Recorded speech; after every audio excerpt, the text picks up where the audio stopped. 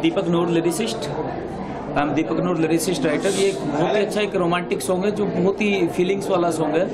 और अभी Valentine day आ रहा है और वैलेंटाइन डे के ऊपर ये सभी के लिए एक स्पेशल गिफ्ट है। मैं इतना ही कहना चाहूँगा। I am director Rajeev Walia ये गाना मैंने शूट किया है। और uh, मैं तो uh, होने दे शुरू रोमांटिक सॉन्ग है। और गाना तो आप लोगों ने अभी देख ही लिया है। I am producer Dhawan Kodrani शुरुआत की है होने दे इसकी शुरू ये सॉन्ग से। लेट्स सी आगे आगे अ, बहुत अ, अच्छे अच्छे सॉन्ग मैं चाहता हूँ बने और मैं देता रहूँगा। दो तीन गाने अभी आगे हमने प्लान किया है राजीव भाई के साथ। बस आप सबका प्यार मिलेगा तो will do again something good for you Rajesh Sharma composer of the song ये सॉन्ग का म्यूज़िक डायरेक्टर और एक रोमांटिक गाना करने का बोला था धवन कोडरानी साहब ने कि रोमांटिक गाना करना वैलेंटाइन डे आ रहा है। तो काफ़ी अच्छा गाना बनाया दीपक ने अच्छा लिखा है और राजीव वालिया साहब ने तो कमाल का डायरेक्शन दिया है तो आप देख गाना बहुत अच्छा लगा बहुत मज़ा आया गाना। अच्छा पूरी टीम यहाँ पे मौजूद है जो एक आइडिया था इस तरह का गाना बनाने का वो किस तरह से जर्मिनेट हुआ वो किस तरह से ये गाने का आइडिया धवन कोटरानी साहब का था जो हमारे बगल में बैठे हैं गाने के प्रोड्यूसर हैं। उन्होंने मुझे फ़ोन करके बनाया था कि भाई ये गाना आप प्लान कर रहे हैं एक ऐसे एक्सपेरिमेंट में सॉन्ग बनाते हैं, बाद में बड़े गाने बनाएँगे तो यही बड़ा बन गया है। आगे तो बड़े और बनेंगे, वो आप सोच रहे तो उन्होंने बोला, एक रोमांटिक गाना बनाओ क्योंकि आजकल रोमांटिक चल रहा है, दौर चल रहा है रोमांटिक गाना तो उन्होंने मुझे फ़ोन किया, मैं गया मिलने के लिए, धवन भाई से तो उन्होंने एक कुछ ब्रीफिंग थी हमें कि ऐसा ऐसा रोमांटिक सॉन्ग बनाओ। सो बढ़िया सिंगर लेना है बड़ा सब डायरेक्टर लेना है बड़ा लिरिक्स सब कुछ बड़ा चाहिए। वो फिर बनाया और बनते बनते बनते बनते बहुत अच्छा गाना बन गया। ये गाना। बताइए आप। मैं बस इतना ही बोलना चाहूँगा, जो भी टीम वर्क से काम हुआ है, बहुत ही अच्छा हुआ है। और आजकल क्या हो गया है दौर सब चलता है मिलियंस पे। कितने मिलियन मिल रहा है 50 मिलियन 20 मिलियन 45 मिलियन वॉट जो भी चल जाए। बस गाना इतना अच्छा बना है तो आगे बहुत अच्छे से जाए। तो बस वही सोच के आज अच्छा मन बना के आए हैं दैट्स नथिंग एल्स एक सिंगल अ, गाना शूट करते हैं। किसी कंपोजर की सर उनको काफ़ी दिक्कत परेशानी है क्योंकि एक पर्टिकुलर सॉन्ग में ही आपको सब इमोशंस और सब कुछ हाँ, होता है, correct. तो डायरेक्टर को सवाल है कि अब वो कैसे कैसे अब यहाँ ही ना है अच्छा तो मुझे वहाँ देख के बोलना। हाँ, तो वहाँ- कनेक्टेड टूट जाती है? मैं कनेक्शन वाला डायरेक्टर हूँ।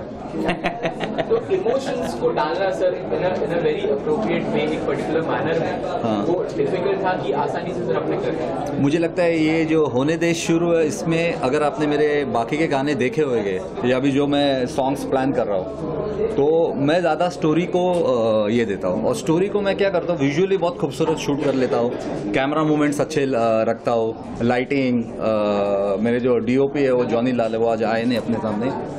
बट फिर जीप का बहुत यूज़ करता हूँ। ड्रोन यूज़ करता हूँ। तो टेक्निकली गाने को लोकेशंस के साथ है ना नरेशन के साथ खूबसूरत बना देता हूँ। और मुझे स्टोरी नरेट करने में बहुत मज़ा आता है। अगर स्टोरी नहीं होगी गाने में मुझे आप कोई भी डांस नंबर भी दोगे तो उसमें भी मैं कुछ स्टोरी डिस्को में क्रिएट कर दूँगा। अच्छा सर फाइनली रिलीज़ कब होने वाला है ये सॉन्ग ये- कुछ अगर आप ऑडियंस को इन ओन लिटिल वर्ड्स आप सभी कुछ कुछ अगर बोलना चाहें। ये गाना जी म्यूज़िक रिलीज़ कर रहा है और इनफैक्ट रिलीज़ हो गया होगा। आप अपने यूट्यूब लिंक चेक कर सकते हैं। अभी वो रितेश को मिल जाएगा लिंक्स और सेकेंड कल से या परसों से ईटीसी और जिंग में आना भी शुरू हो जाएगा। और बस बाकी आप लोग सब आई थिंक बहुत खूबसूरत मीडिया है। मैंने म्यूज़िक वीडियो के लिए इतना बड़ा मीडिया कभी देखा नहीं। तो सब वेरी नाइस अच्छा लगा मुझे। एंड आप अभी आप लोगों के हाथ में इस गाने को प्रमोट करना। अगर आपको वाकई में अच्छा लगाएगा तो इसको उसी तरह से प्रमोट कीजिए। तो गाना बड़ा बन जाएगा। आप तीनों में कुछ अगर आप कुछ कहना चाहेंगे ओन ऑडियंस गाना गाने के लिए। सेकंड गाने का में। हाँ अभी ये गाना तो ख़त्म हो गया। खैर मुझे तो ऑलमोस्ट डेढ़ महीना लगा क्योंकि ये गाना फ़िल्म की तरह ही है। वो 25 फ्रेम्स 24 फ्रेम्स डीपीएक्स डीआई जैसे मैं फ़िल्में जैसे तेरा इंतज़ार की थी। तो मेरा फॉर्मेट भी फ़िल्म होता है कैमरामैन भी फ़िल्म होता है, फिर इक्विपमेंट भी फ़िल्म की तरह होता है प्रोसेस भी फ़िल्म का होता है। तो मुझे ऑलमोस्ट डेढ़ डेढ़ महीना लगा इस गाने को बनाने के लिए। कल रात तक तो प्रोमो ख़त्म किए मैंने थर्टी सेकेंड्स और सिक्सटी सेकेंड्स तो अभी ये इस गाने का पूरा चैप्टर ख़त्म हो चुका है फिजिकली मेरे लिए। अभी प्रमोशन का पार्ट है, जिसमें प्रोड्यूसर का पार्ट ज़्यादा रहता है। और होपफुली आज शाम को हम लोग नेक्स्ट गाने की प्लानिंग कर रहे हैं। अ, हम लोग ने जो मैंने और धवन ने जो डिस्कस किया था आ, वो मोस्टली हम लोग के राजेश भी इन्वॉल्व है हमारे साथ। वो शायद हम लोग राहत फ़तेह अली जी के साथ करना चाहेंगे। मैं उनका बहुत बड़ा फ़ैन हूँ और मैं चाहता हूँ एक स्टोरी बेस्ड गाना जो मैं अब्रॉड शूट करूँ राज जी के वॉइस पे। तो वो नेक्स्ट गाने की प्लानिंग है। तो आज शाम को हम लोग बैठ के डिस्कस करेंगे क्योंकि कल धवन फिर से कच्छ निकल धवन कच्छ से गुजरात से बॉम्बे में रहते नहीं है तो कल वो निकल जाएँगे। लेकिन काफ़ी स्ट्रगल मेहनत इन्होंने भी बहुत कुछ सॉन्ग के लिए सोचा है किया है जो अंदर बातें हुई बहुत सारी चीज़ें हम बोल ये एक्चुअली ये कमलेश ठक्कर है ये हमारे प्रोड्यूसर है सेकेंड प्रोड्यूसर है धवन के पार्टनर है धवन और कमलेश ने मिलकर गाना बनाया है। और मैं मुझे याद है एक इंसिडेंट तेरा इंतज़ार का जब मैंने फ़िल्म स्टार्ट की थी तो मेरे जो प्रोड्यूसर थे बिजल मेहता जी ने तो धवन और कमलेश को मेरे सामने बिठाया था बोला राजू भाई इनको सब्जेक्ट सुनाओ। तो मैंने इनको दोनों को दो घंटे का नरेशन दिया था बिजल भाई के बंगले में वहाँ पे। तो तब से मेरी इन दोनों के साथ दोस्ती है तीन साल हो गए अभी। और कमलेश बिजनेसमैन है तो डेफिनेटली वो उनका थोड़ा शेड्यूल तो हेक्टिक रहता ही है और टाइम का थोड़ा प्रॉब्लम रहता है कमलेश का। तो अभी कमलेश कुछ बोलना चाहेंगे? भाई प्लीज़ आप गाना देखा आपने? कुछ बोलना चाहेंगे गाने के बारे में? जी बहुत अनुभवी डायरेक्टर है राजीव वालिया जी। सब लोग जानते ही हैं उनकी तेरा इंतज़ार जो मूवी थी, उनमें उनका अनुभव हमें दिखा ही। है और राजेश शर्मा तो नोन पर्सन ही है। आज की तारीख में music director one one by one back to back इनके सॉन्ग्स आ ही रहे हैं कंटिन्यू में। तो बहुत अच्छा इन्होंने रिलीज़ किया है। बहुत वाकई तारीफ़ के काबिल है। बिल्कुल। Thank you so beautifully written and so this beautiful song beautifully composed and beautifully written with such a wonderful team you know starting from the producer to the director and the actors you know it it was just मेरे लिए तो ये एकदम एकदम घर जैसे था। ऐसा लग रहा था कि मैं अपने अपने लोगों के साथ पिकनिक करने गई हूँ तो बहुत मज़ा आया। ओके अगर सॉन्ग की बात करें कितना कनेक्ट किया आपने और लव स्टोरी है इसमें? कितना कनेक्ट किया और क्या ब्रीफ था डायरेक्टर की तरफ़ से लव स्टोरी मैंने मैं एक्चुअली बोलना चाहूँगा मैं मिस्त्री के साथ फ़र्स्ट टाइम काम कर रहा हूँ लेकिन मैंने जब उनकी कांची देखी थी मैं हॉनेस्टली बता रहा हूँ ये मैं मेरे को इंटरव्यूज़ में लोग है ना दूर रखते हैं क्योंकि मैं जो भी बोलता हूँ दिल से बोलता हूँ जो मैं फील करता हूँ वो बोलता हूँ। मुझे प्लानिंग आती नहीं है। तो मैंने मिस्ती की, सुभाष जी के साथ भी मेरे अच्छे रिलेशन है। तो मैंने मिस्ती की कांची देखी थी। तो मैंने हमेशा सोचा था, इसके साथ मुझे कुछ काम करना है। फ़िल्म कर, मुझे नहीं पता था ये गाना करूँगा। और फिर कास्टिंग चल रही थी। फिर मिस्ती के फोटोग्राफ्स मेरे पास आए। तो जो उनके जो जो मेरे कोई जान पहचान में ओपी नाम के सेक्रेटरी है जो कास्टिंग करते हैं। उन्होंने फोटोग्राफ भेजे मुझे मिस्ती के। मैंने उसको बोला इमीडिएटली इस, इस इसको मुझे कहा मेरी मिस्ती के मिस्ती से तब तक बात नहीं हुई थी। मैं धवन को फोटोग्राफ भेजे। और जब मिस्ती फाइनल की हम लोग ने उसके बाद मैंने पूरा नरेशन मिस्ती को फ़ोन पे दिया था। और जब नेक्स्ट डे मैं रिहर्सल पे मिला उसको पूरा नरेशन याद था। तो मैंने उसको पूछा भी आपको याद है नरेशन तो उसने बोला पूरा वर्ड टू वर्ड याद है। जो भी प्रोजेक्ट चूज़ करते हैं उसके पीछे एक खास रीजन होता है कुछ चीज़ें पसंद आती है। इसमें इस सॉन्ग में क्या पसंद आया था आपको जब आपको डायरेक्शन मिला था क्या लगता है ओके तो इस सॉन्ग के लिरिक्स मुझे बहुत पसंद आए थे मुझे कंसेप्ट बहुत पसंद आया था। And these are the main things और एक सॉन्ग uh, है जिसके जिसमें हमको एक पूरी कहानी बतानी है।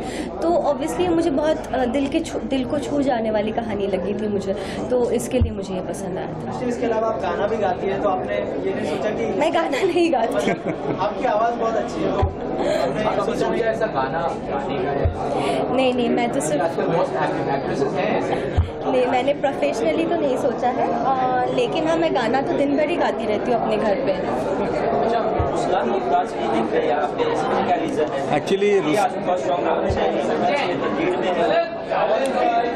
कहना एक्चुअली रुस्लान का एक नया शो स्टार्ट हुआ है और मुझे लगता है उसका सडनली डेट्स का इशू बन गया तो उसने मुझे, मेरी फ़ोन पे भी बात हुई और उसने सॉरी भी बोला है और उसने मीडिया बाइट्स भी मैं उसके भेज दूँगा रितेश के पास। लेकिन वो बेचारा टाइड अप है, वरना वो डेफिनेटली आता और वो suddenly all of a sudden हुआ, वो आपको पता ही चल जाएगा दो वीक में उसका शो ऑन एयर होने वाला है। अच्छा राजीव जी रिसेंटली मिश्री की एक फ़िल्म रिलीज़ हुई है मणिकर्णिका हम्म। आप लोगों ने देखी फ़िल्म हाँ मैंने देखी फ़िल्म सर कैसा लगा परफॉर्मेंस किसका परफॉर्मेंस का। मिस्ती का तो अच्छा ही आप मैंने शूट किया तो मैं तो नहीं मुझे की बात कर रहे हैं। अच्छा बाकी रोल कम है वो तो। लेकिन कम रोल था लेकिन वो तो अच्छा मिस्ती तो अच्छी आर्टिस्ट है मैंने उसका पूरा गाना किया है। और मैंने पूरा गाना हम लोग ने स्पॉन्टेनियसली शूट किया ऐसा भी नहीं कुछ होमवर्क किया है। हम लोग सेट पे डिस क्योंकि मैंने उसको बोला था स्पॉन्टेनियस ही रहना। मैं मेरे मैं जब भी मैं आर्टिस्ट के साथ काम करता हूँ मैं उनको बाँध नहीं देता हूँ। मुझे मैं पहले उनके प्लस पॉइंट्स देखता हूँ प्लस माइनस क्या है। फिर मैं उनको उसके हिसाब से कैरेक्टर में डाल देता हूँ। तो मिस्ती के तो मुझे पता ही नहीं कब हम लोग ने शूटिंग की ऐसा भी नहीं कि बहुत होमवर्क किया। Because she is a intelligent actress और मैं मैं बहुत प्रिपेयर्ड था गाने को लेके।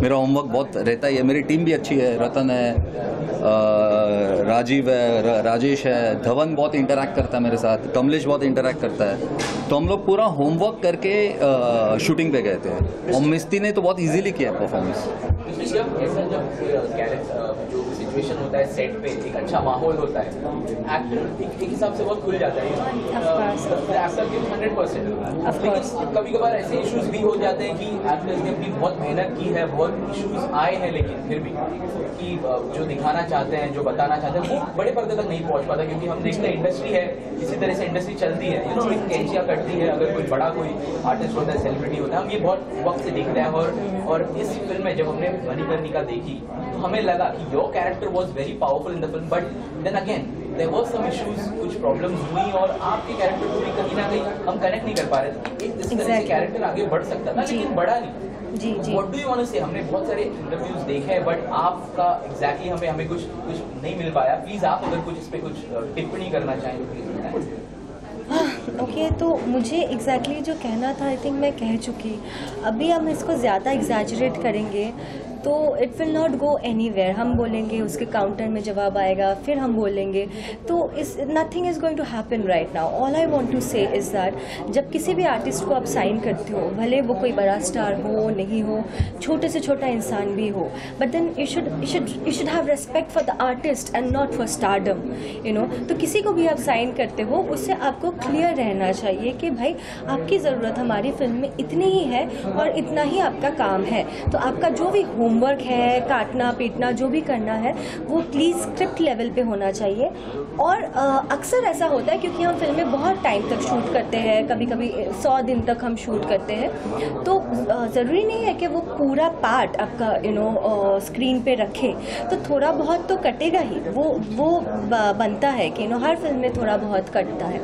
लेकिन अगर आप unnecessarily just to you know just to glorify yourself अगर आप किसी को डिमिनिश करते हो, वो बहुत गलत बात है मेरे ख्याल से। और आई डोंट थिंक कोई भी सेंसिबल आर्टिस्ट या ऐसा करेगा, कोई भी सेंसिबल आर्टिस्ट ऐसा नहीं करेंगे। नहीं, मैंने बिल्कुल बात नहीं की। बहुत लोग मुझसे ये पूछ रहे थे कि अगर आपको ऐसा ही लगा था तो आप स्क्रीनिंग में क्यों थी? ज़ाहिर सी बात है, क्योंकि स्क्रीनिंग से पहले मैंने फ़िल्म देखी ही नहीं थी। यू नो स्क्रीनिंग में मैंने पहली बार फ़िल्म देखा और स्क्रीनिंग में देखने के साथ साथ इमीडिएटली मेरी किसी से बात नहीं हुई। I just left the theatre and उसके बाद ना तो मेरे कुछ फ़ोटोज़ हैं, जो भी इंटरव्यूज़ आप देखेंगे, वो उसके पहले से है। जो भी फ़ोटोज़ आप देखेंगे वो स्क्रीनिंग के पहले के हैं जो भी मैंने अच्छी अच्छी बातें कही है मतलब आई मीन मैं अभी भी फ़िल्म को अच्छा ही बोलूँगी बट देन जो भी मेरे इंटरव्यूज़ वगैरह है वो सब स्क्रीनिंग से पहले का है। तो डोंट कंट्राडिक्ट बाय सेइंग कि लाइक मैं वहाँ पे क्यों गई अगर मुझे पसंद नहीं था? मैं इसलिए गई क्योंकि मुझे पता ही नहीं था। इसके अलावा ऐसी भी रिपोर्ट्स आ रही है कि कंगना को मजबूरी में डायरेक्शन की कमान संभालनी पड़ी तो उसके ऊपर आप क्या कहेंगे कैसी मजबूरी? मतलब डायरेक्ट डायरेक्टर नहीं है इसके लिए उनको ओके तो आपने डायरेक्टर से बात की। But lot of news report yeah. has come that time and they clearly mentioned that the director was left the. देश के ये हमारे देश की ही नहीं मतलब एवरी सोसाइटी हर सोसाइटी का ये प्रॉब्लम है कि लोग बहुत जजमेंटल होते हैं। अगर आप बात करो तो पब्लिसिटी के लिए बात करो। अगर आप बात नहीं करो आप चुप हो मतलब आप गलत हो। तो क्या करें भाई? यू नो डायरेक्टर पहले इसके लिए चुप थे कि उनकी बातें कहीं फ़िल्म को अफेक्ट ना करें। और किसी ने कोई बात इसके लिए नहीं की फ़िल्म के रिलीज़ तक कि फ़िल्म को अफेक्ट ना हो, लेकिन उसके बाद जब उनको लगातार कॉल्स जा रहा था और सब पूछ रहे थे he had to come out and speak but I know for a matter of fact कि उनका प्लान था वो फ़िल्म के एक दो हफ़्ते बाद बात करें you know that was his plan but then people came to him directly and they were asking him and कब तक कोई चुप रहेगा? तो अभी सच बात यह है, जितना मुझे पता है, जितना और भी आई थिंक 90 परसेंट लोगों को ये पता है, भले कोई बोले या नहीं बोले। डायरेक्टर ने पूरी फ़िल्म कंप्लीट की। Obviously I was there in the shoot I know उन्होंने कितना शूट किया, पूरा फ़िल्म कंप्लीट हुआ। उसके बाद वो यू नो ही उन्होंने प्रोड्यूसर से और कंगना से और सबसे ये बात बोली कि you know like I need to sign a film down south तो एनटीआर की जो बायोपिक है तो वो मैं साइन करके आके I complete the patch work जो कि थोड़ा बहुत पैच वर्क बाकी रहता है। तो उसके बाद वो वहाँ पे गए, उसके बाद he wanted to come and complete the patch work लेकिन तब तक यहाँ पे डिसाइड हो गया था कि यू नो फ़िल्म को कुछ अलग तरीके से प्रेजेंट करना है और कौन सा कैरेक्टर क्या करेगा, क्या नहीं करेगा? So he was in welcomed after that you know the director wanted to come back and do the patch work but he wasn't welcomed on our sets ये डिसाइड करने वाली मैं कोई नहीं होती हूँ। Let people understand the truth and let them decide ego के लिए है या किसका ब्लेम है, क्या है। मैं किसी को ना तो ब्लेम कर रही हूँ, ना किसी के ईगो के बारे में कुछ कह रही हूँ। मैं बस ये बोल रही मैं बस वो बता रही हूँ जो हुआ है। I am just I am just the narrator over here I am just narrating what has happened my experience and I am also narrating what has happened to the director और जो सब कुछ आप लोगों ने जाना है इतने टाइम तक उनमें से काफ़ी कुछ गलत है। मैं बस ये बोल रही हूँ कि जो गलत चीज़ें आप जान रहे थे सच बात क्या है? मतलब जब भी आप फ़िल्म साइन करते हो तो आपको बोला जाता है कि आप फ़िल्म में ये करो। लेट मी क्लैरिफाई दिस क्योंकि बहुत लोग ये बोल रहे हैं कि मणिकर्णिका का फ़िल्म है तो मणिकर्णिका के ऊपर ही होगा ना? काशीबाई के ऊपर तांतिया टोपे के ऊपर सुंदर मुंदर के ऊपर नहीं हो सकता है डेफिनेटली नहीं हो सकता है। बट देन uh, जब आपको इतना तो पता होना चाहिए कि फ़िल्म में आपका क्या है एग्जैक्टली exactly, वो तो कोई आपसे झूठ नहीं बोल सकता। ना कि फ़िल्म में आपको बोला जाए बोला जाता है कि आप ये कर रहे हो at the end of the day आप देख रहे हो कि आप कुछ नहीं कर रहे हो। वो तो झूठी बात है ना? और वो भी somebody tricks you into giving extra dates ताकि आपके पहले के सीन्स काट पाए। दैट इज़ वेरी रॉन्ग ऐसा मुझे लगता है। और दूसरी बात ये है कि यू नो जिसको मैंने, जिस, जिसके साथ मैंने साइन किया, वो डायरेक्टर कोई और था। अगर एक दिन अचानक से जब फ़िल्म ख़त्म होने वाली है, कोई आके मुझे बोले कि, मैडम, आप आप, आपका डायरेक्टर ये नहीं, ये है, और वो भी आपके फोर स्टार है। तो ये तो सबको पता है कि हम आर्टिस्ट बहुत नार्सिसिस्ट होते हैं। हर आर्टिस्ट सेल्फ ऑब्सेस्ड होता है, उसमें कोई गलत बात नहीं है। तो मैं तो कभी ऐसा फ़िल्म ना करूँ जिसका एक्टर ही डायरेक्टर है यू नो बिकॉज़ वो ऑब्वियसली वो अपने बारे में सोचेगा, इसमें कोई गलत गलत बात नहीं है। उनके तरफ़ से कोई गलत बात नहीं है, लेकिन मेरे तरफ़ से तो वो गलत ही हो जाएगा ना? तो मैं तो कभी ऐसा कोई फ़िल्म नहीं करूँ जिसमें आर्टिस्ट डायरेक्टर है you know so a film always director को न्यूट्रल होना है डायरेक्टर के not be biased about anything director के लिए फ़िल्म का हर पहलू उसके उसके लिए उतना ही इम्पोर्टेंट होता है। मतलब फ़िल्म के पीछे एक सही डायरेक्टर वो होता है जो फ़िल्म के सबसे पीछे एक बैकग्राउंड डांसर भी ठीक तरीके से डांस कर रहा है कि नहीं? वो फ़िल्म के साथ उसका मैच हो रहा है कि नहीं? उसका भी ध्यान रखे। That is what a real director is real director कभी सेल्फ obsessed नहीं हो सकता है। Artist has liberty to do that a director can not do that director has to be fair to everyone in the film